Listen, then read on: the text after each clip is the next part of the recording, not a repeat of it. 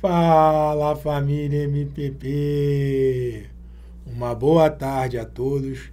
Eu sou o professor Marcão e seja muito bem-vindo e seja muito bem-vinda a essa aula onde você vai aprender matemática para PM Sergipe. É isso mesmo, de uma forma rápida e simples.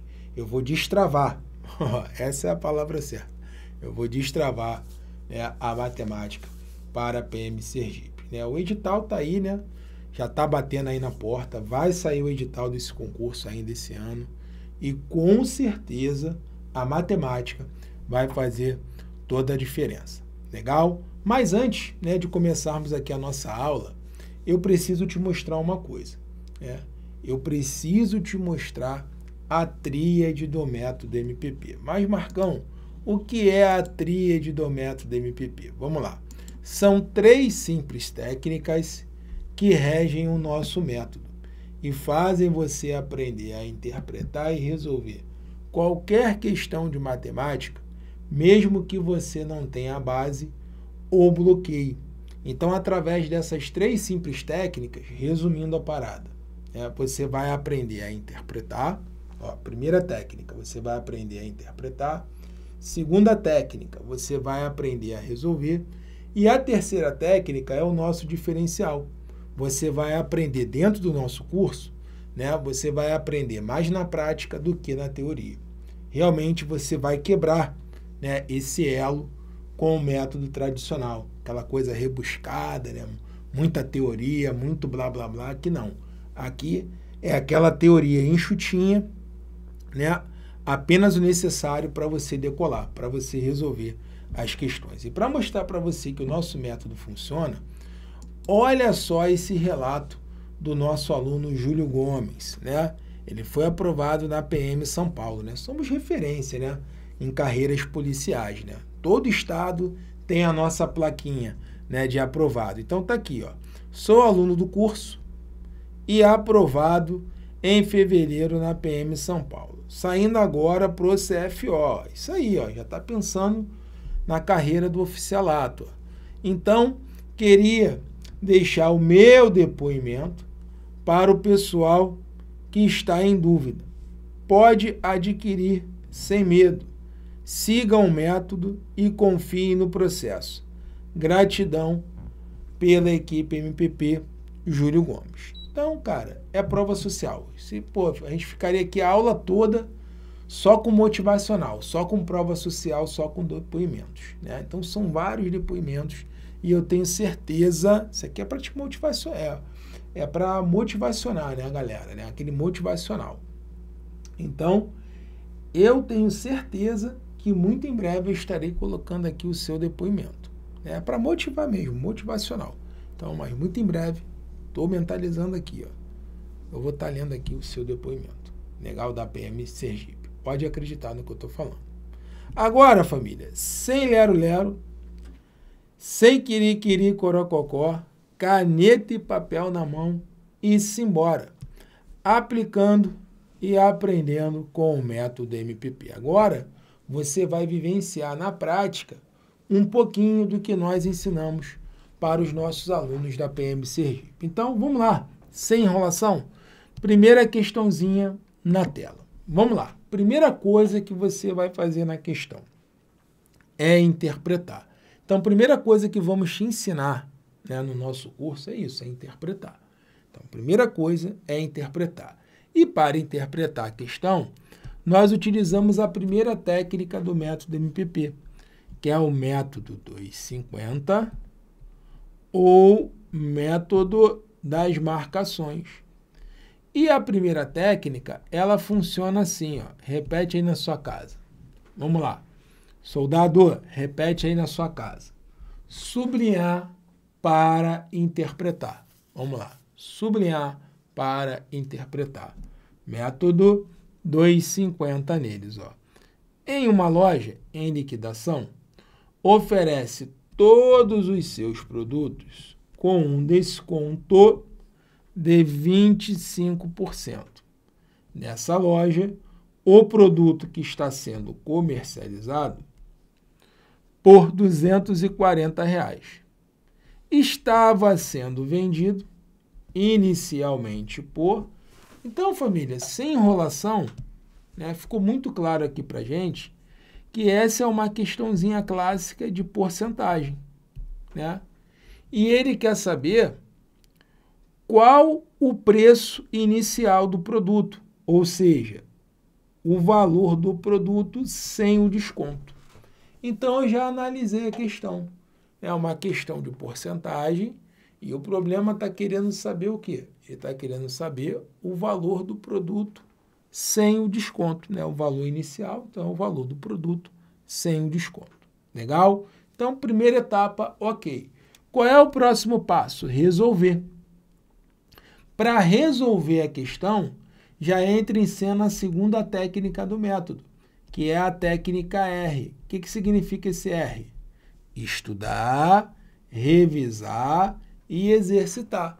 Então, lá no nosso curso, imagina, você quebrar, você resolver aí umas 20 questões de porcentagem, 10 questões de porcentagem, e ao mesmo tempo revisar essas questões.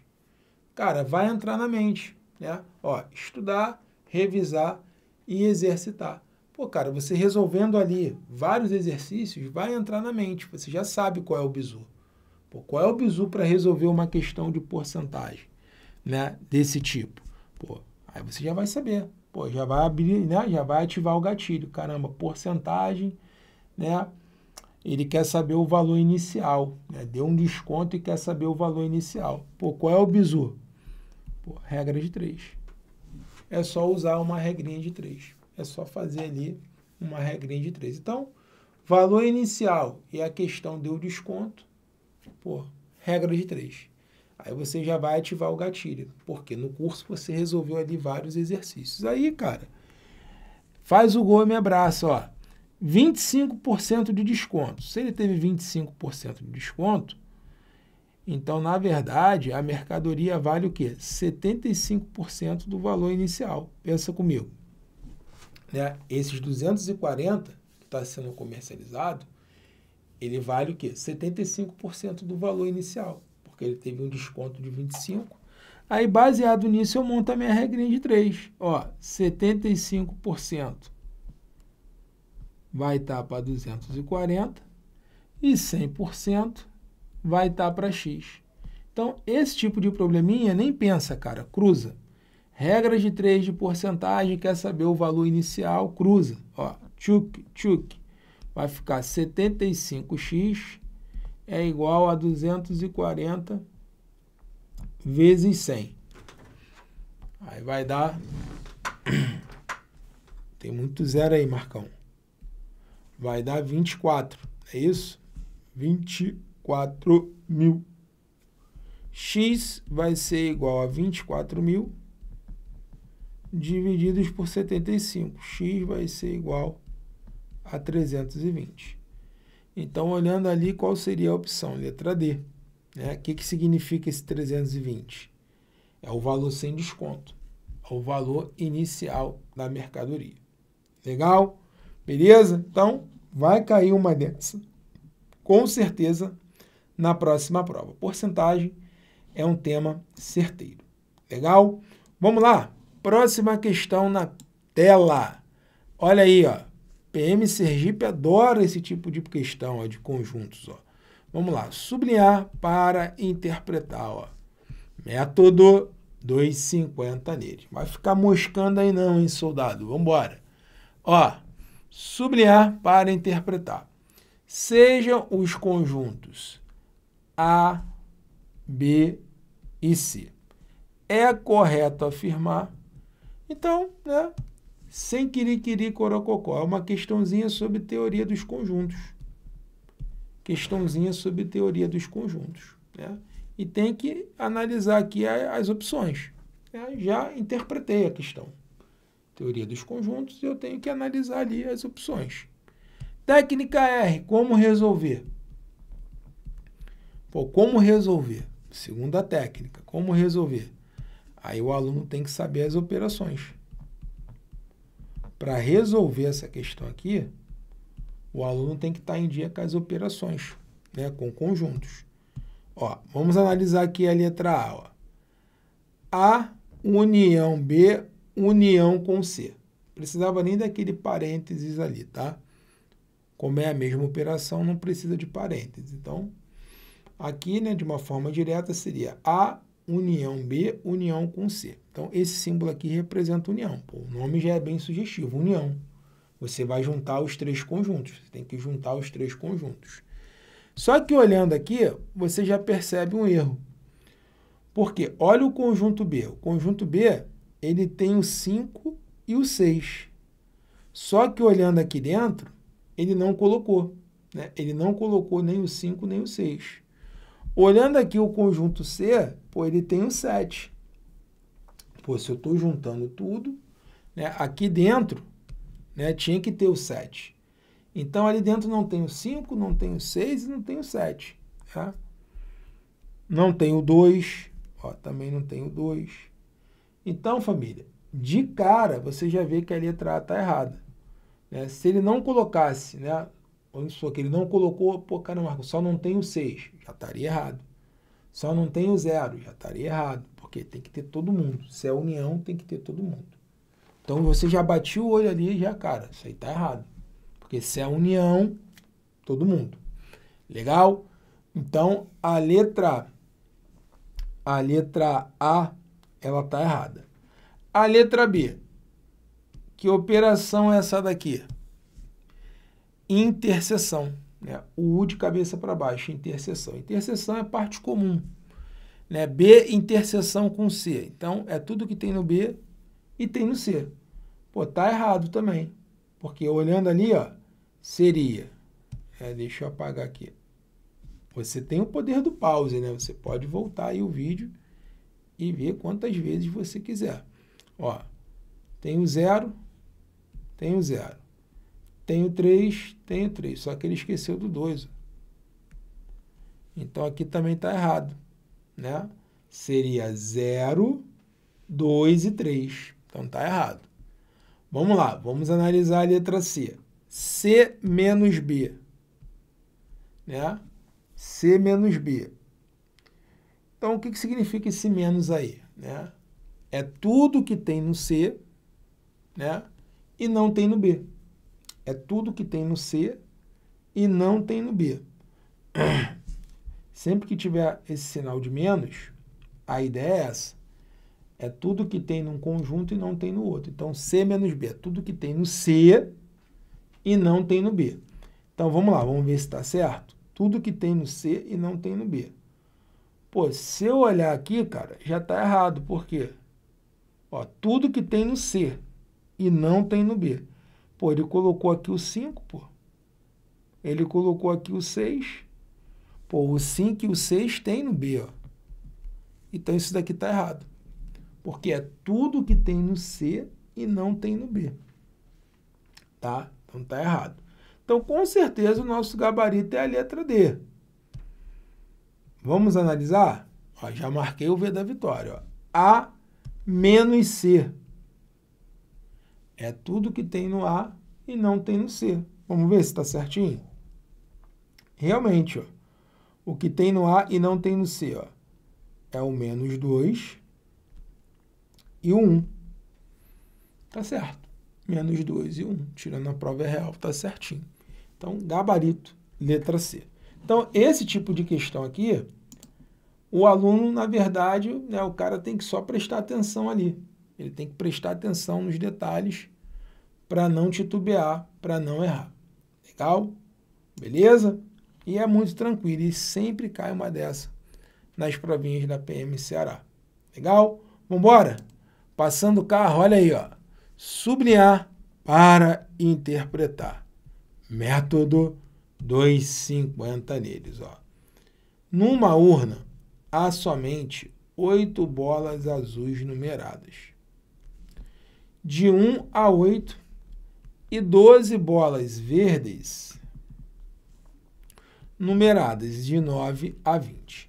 A probabilidade de sortearmos uma única bola dessa e ela ter o um número par, sabendo que ela é azul, é. Então, sem lero-lero, é uma questãozinha de probabilidade. Ficou muito claro para a gente. É uma questãozinha de probabilidade. E ele está querendo saber o quê? Ele quer a probabilidade de sortear uma bola da urna e ela ter um número par, mas sabendo que ela é azul. Então eu já sei né, que ela é azul, probabilidade condicional. Tem uma, pô, já sei, tem uma condição, pô, já sei que ela é azul. Isso é muito importante, tá? Essa análise é muito importante. Você já sabe que a bola é azul. Legal. Qual é o próximo passo? Resolver. Aí já entra em cena a segunda técnica, técnica R. Como resolver? É, aí vamos aplicar aqui um macete. Um macete. O jeito tradicional, que a galera ensina por aí, ele vai falar para você o seguinte, ó, que probabilidade é casos favoráveis sobre casos possíveis. Aqui, a gente já fala de uma outra forma. É a mesma coisa, só que com uma pegada diferente. Né? Para ser mais didático, a gente criou esse macete aqui. Ó. Probabilidade é o que eu quero sobre o total. É o que eu quero sobre o total. Então, vamos lá. O total, o que, que seria o total? Seria o total de casos. Como ele falou que a bola é azul, então, teríamos aí oito opções né, de escolha. Então, casos possíveis é o total. Então, quantos casos possíveis eu tenho? Oito. Porque a bola é azul. Eu já sei que a bola é azul. Acabou. Agora, desses oito, o que, que eu quero? Né? Aí entra a pergunta do problema. o que, que eu quero desses oito? Né? Eu quero apenas os pares. Por quê? A bola tem que ser par e ela tem que ser azul. Então, já sei que ela é azul. Agora, qual é a outra parada? Ela tem que ser par.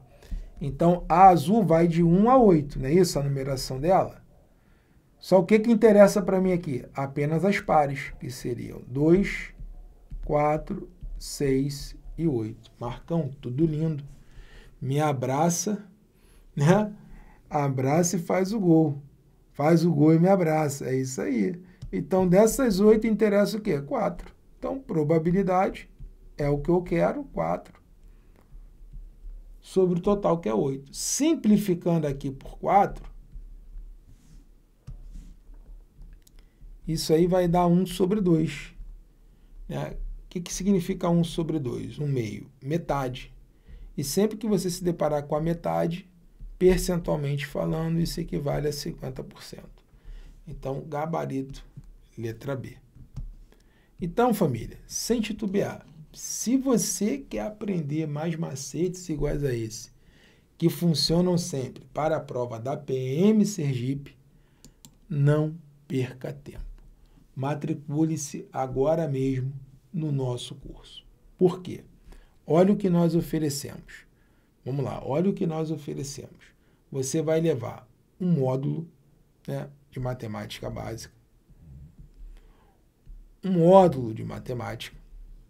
A novidade, um módulo de língua portuguesa. Vai ter acesso ao nosso suporte ao aluno. É isso mesmo, você vai ter acesso ao nosso suporte, tira a dúvida do aluno. E mais três bônus exclusivos. Bônus 1, um, um curso de exercícios de português da IBFC. Bônus 2, e-book de matemática e raciocínio lógico com 260 questões. E bônus 3, cronograma né, de estudos para PM Sergipe, para acelerar ali o seu aprendizado. Então, se somarmos aqui todos esses valores, né, continha de padaria, seu curso sairia por mais de mil reais. Mas hoje você vai levar tudo isso por apenas 12 de 40,98 ou 397 à vista. Tá legal? Você pode parcelar em até 12 vezes ou, né, 397 à vista. Na verdade, você está levando aí três cursos, né? Está levando um de matemática básica, um de matemática e um de língua portuguesa. Tá legal? Então, é um combo, é um super combo para você detonar na prova da PM Ceará. E não espere o edital sair para você comprar o curso. Legal? Porque pode ter um pequeno aumento, tá? O mundo é feio. O mundo é capitalista. Então, é, temos contas a pagar, é uma empresa, é uma equipe. Então, aproveite, compre, porque pode ter uma alteração no valor. Hoje, dia 22 de agosto de 2024, é esse valor, mas pode mudar. Então, corre lá, aproveita e compra, tá? Tá tudo aqui na descrição do vídeo, deixamos tudo aqui para você na descrição do vídeo, para você não se perder. Tem aqui nossos, nossos contatos, né? redes sociais, então tem como você achar a gente. Quer tirar alguma dúvida? Tá tudo aqui na descrição do vídeo. Beleza? Tudo lindo? Beautiful, beautiful, beautiful, né? Vamos lá, que tem mais uma questão para a gente detonar. Sublinhar para interpretar. O método 250 neles. Dois triângulos equiláteros são tais que a altura do primeiro é igual ao dobro da altura do segundo. Se o lado do primeiro mede 16, a área do segundo triângulo em metros quadrados é. Então vamos lá. Questãozinha de geometria plana sobre áreas, né? Área do triângulo equilátero. Tudo lindo. Como resolver? Né? Sem querer corococó. Como resolver? Aí você vai ter que aplicar a fórmula. Não vou ficar romantizando a parada, não. Tá? Aí você tem que aplicar a fórmula. Soldador, você vai ter que aplicar a fórmula. Então, área do triângulo equilátero, sem lero-lero. Lado ao quadrado, que multiplica a raiz de 3 sobre 4. Então, para achar a área, eu preciso do lado. Pô, Marcão, ele deu altura, como é que eu vou achar esse lado? Né? Ele deu uma relação ali entre as alturas. E deu o lado do primeiro, pô, mas eu preciso do lado do segundo. Pô, moleza. Por quê? Olha o que ele falou aqui, que a altura do primeiro é igual ao dobro da altura do segundo. Pô, se a altura é a propriedade, tá? Se a altura do primeiro é igual ao dobro da altura do segundo, isso também vale para o lado. Né? Em outras palavras, o lado do primeiro é o dobro do lado do segundo. Aí ficou fácil, porque ele me dá o lado do primeiro. Se o primeiro é 16, ó, vou jogar aqui. Ó, 16 é igual a2 vezes L2. L2, que nada mais é que o lado do segundo, vai ser igual a 16 divididos por 2, que vai dar 8. Ó, zero trauma. Então, eu já sei o lado do segundo. Né? O lado do primeiro é o dobro do lado do segundo. Né? Então, o segundo vale 8. Aí, ó, é só correr para o abraço. A área vai ser igual. Vamos lá, malvar 2. Ó, 8 ao quadrado, que multiplica a raiz de 3 sobre 4. 64 raiz de 3 sobre 4. Isso aí vai dar 16 raiz de 3 metros quadrados. Olhando ali as opções malvadas, qual é o gabarito? Letra C. Marca o V da vitória e vai ser feliz. Legal? Então, família, é isso aí. Finalizamos aqui a nossa aulinha. Ah, Marcão, não acredito que essa aula acabou. É isso aí, finalizamos aqui a nossa aulinha. E se você quer aprender né, mais macetes iguais a esse, que funcionam sempre, matricule-se no nosso curso. Deixamos todas as informações aqui na descrição do vídeo. Tem o link do curso. Colocamos aqui também a correção da prova da PM Sergipe. Então tá tudo aqui para você maratonar, para você decolar. Cara, vou te deixar forte para você, né, ser um futuro policial aí da Polícia Militar do Estado do Ceará. E eu sempre me despeço aí com essa mensagem. Lembre-se, o estudo é a estrada que levará você onde deseja chegar. Lembre-se o estudo é a estrada que levará você onde deseja chegar. Insista, persista e não desista. Matemática aqui, ó, para passar. Tamo junto. Valeu, família. Um abraço. Fui.